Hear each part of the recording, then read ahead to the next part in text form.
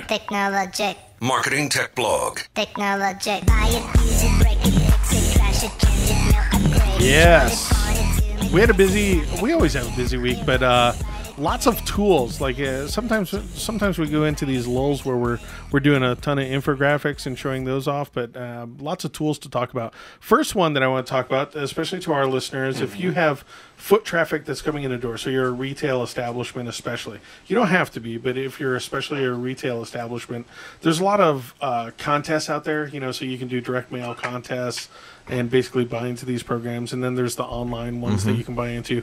Well, there's a new company uh, right out of Indianapolis called Fatwin, F A T W I N, Fatwin. Yeah, I saw Um, some of your pictures from MTech. yeah, they got some cool stuff. So so Fatwin basically what they've done is they've integrated it all, offline and online. So you can send out direct mail pieces, newspaper inserts, um, or emails or whatever. Hmm. And then when people come to your store, they can play the game right out of kiosk, mm-hmm. right right there, and they can win right there.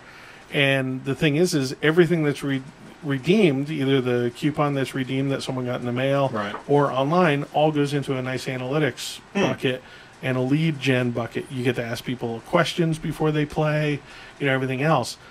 The other, the so so that's the awesome side from a business standpoint. So you mm-hmm. can increase the number of people coming in your business and then kind of qualify them to see cool. who it is that you want to call back. The reverse side of it is the consumer side is really cool, and that's that what Fatwin does is they have a progressive system. So right now it's up to like forty thousand dollar jackpot, and so just like casinos have progressive slots and stuff Right, like right, that, right. they've got their own progressive jackpot, and so so all of the advertisers in their network are basically every time someone plays, it Yeah, adds like a nickel to the progressive, and so so there's just uh, uh, and then. Um, and then the other side is only 9% of people actually uh, believe that companies give away these prizes. Right. Did you know that? 9%? Um, like 91% of people just Yeah. think they're lying. Yeah. Sure. Um, so what they do is on the right hand side of their screen on the kiosk and online, they show the live winners in real time. Really? Yeah. So they show you, hey, you know, Aaron just won a two hundred dollar gift card, and this guy just won, and that girl. So they're kind of putting it all out there, but uh, really good. Keep an eye on them. Uh, fatwin.com. I dig it. I dig the name. Yeah, and then uh, uh, another company that I want to talk about, Meltwater. They're a sponsor of the Marketing Tech Blog, but um, we basically get emails. We we do searches for clients for industry stuff, and so a lot of the data that we get right now on our blog is because we have all of these listeners out there, you know, and that's and not people, but computer, you know. So these algorithms going out there and capturing data on email marketing technologies and Right. so so that the second someone writes a blog post about their new company, um, we know about it and we get these alerts, and that's how we're able to accumulate all of these articles all the time. And um, the tool that we use is Meltwater. It's a tool called Buzz, B U Z Z, and and so the the fascinating thing that I wanted to bring that's great for us. We're a publisher, right? We need all of that information. Right. Well, one of our clients today we uncovered had 500 mentions in the last two weeks across Facebook, but th- they weren't tagged in those conversations. Hmm. So they just mentioned the company name. Yeah. Uh. Well, they weren't even aware. They Yeah. weren't even aware that those conversations were happening out there. So you think about that with your own business. Yep. If you've got a good business, either complaints, uh, compliments, you know, whatever. And and these were really complimentary, you know, remarks.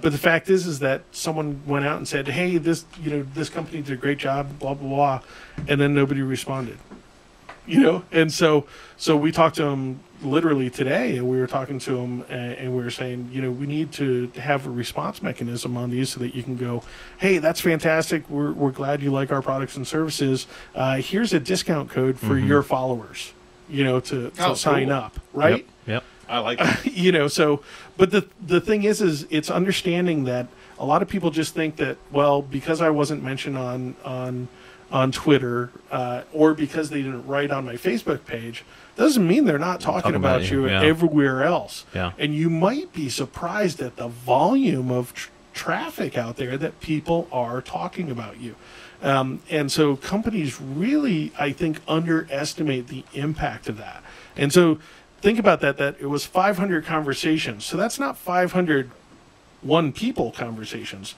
It's not 500 retweets either. It's, Exactly. It's 500 places where their brand was communicated to tens of 1000s of followers. Yeah. And so the so there's this entire pocket of conversation happening out there that they weren't even aware existed.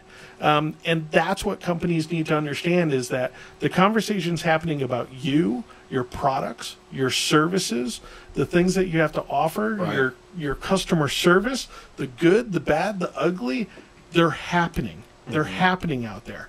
And the question is is are you out there responding?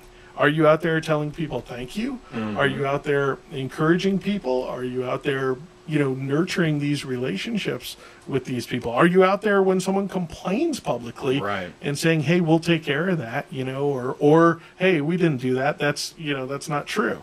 Um, and and just the fact that companies don't even understand that those conversations are happening is is really important. Yeah, absolutely. Absolutely. Um, if you're uh, if you're a company that does uh, a lot of email, uh, high high volume sender, or you have a big payback on your email, um, one of the things that that is becoming clear nowadays is inbox placement. They call it, and so a lot of these email service providers, like if you go with a Mailchimp or ExactTarget or whatever, they'll say, "Oh, we have you know 99% inbox, you know, placement or whatever," and it's and it's it's not a bogus number, but basically what it means is after you join them and import your list, and after the list is bounced and a few times and everything else, with what's left, you're going to make the inbox, you know, really nice. Um, but the fact is, is that you can't really trust. That's a system-wide number. Yours might be totally different. All of your emails might be blocked, and um, they might be blocked because of some words that you used in your title or or whatever. And so there's these inbox placement services that basically you give them a list uh, and they go out and they basically send to that list and they tell you how what percentage of that list made it you know in the inbox versus a junk folder or a mm-hmm. spam folder or whatever. Um, the big guys on the block are return path hmm. and they charge a lot of money for their stuff. Mm-hmm. But again we have a great company in town that launched. It's called 250 ok 250 ok 250 winds up being it's the it's the code on the back end when an email actually makes it through okay so they're called 250 okay but 250 okay basically has an inbox placement service so if you have a lot of emails going out and you're just getting a 0% response or you're getting a you know 0.05% response on your stuff Right. um, you might want to use one of these services because you might want to check you're, you're spending all this money on sending email and uh, and I think our you know we spend like you know over five hundred dollars a month to send email. Right. Well, if ninety nine point nine percent of it is going to a junk filter, then Yeah. we're just Throwing wasting money, money. yeah. We're just throwing it away. So that's what these services are for: is basically to use these to do the testing uh, and everything else. Um, and then uh, the last one that I wanted to talk about real quick was ebooks. Uh, we've talked about them in the past. We've had shows, I think, about Yep, ebooks. yep. It's a huge deal. Uh, everybody is doing e-publishing now. Companies are starting to use it from a marketing tactic now. Um, there's a new company called PubSoft, which actually creates an ebook publishing portal.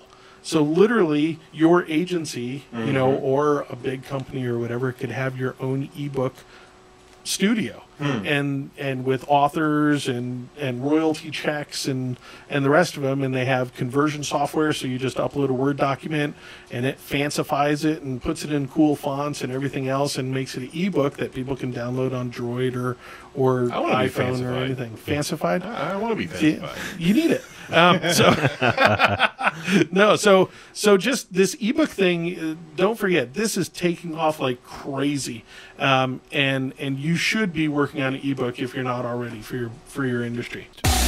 You're listening to Edge of the Web Radio with Erin Sparks. We're online with exclusive podcasts, the latest web news, and links at edgeofthewebradio.com.